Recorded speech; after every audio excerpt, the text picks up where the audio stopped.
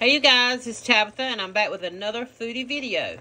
Alright, today I'm going to show you guys how to make some dip.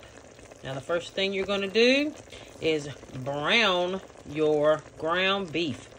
Now once we get this finished, then I'll show you what I'm going to add next.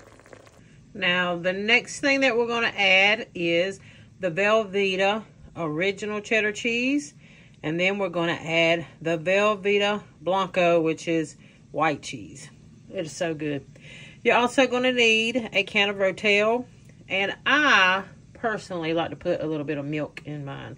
Because I cannot eat spicy foods. And sometimes the Rotel can be a little too spicy for me. So I like to cut it with some milk.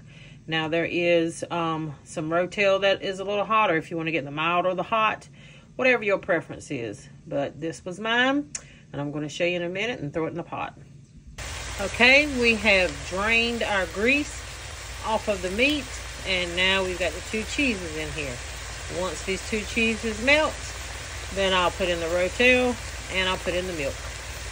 Okay, now that our cheese is melted, we're going to take the rotel and what I like to do is drain the juice out of there because I'm going to replace it with milk so it's not so hot.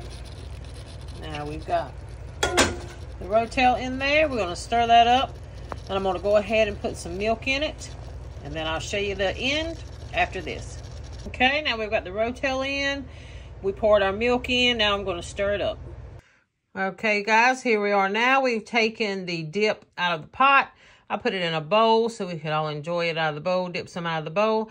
And we love them with our scoops. As you can see, the bag is already half empty. And the dip is already half gone as well. Your family and you are going to love it. All right, guys, this is it for me. I'll see you next time. Bye-bye.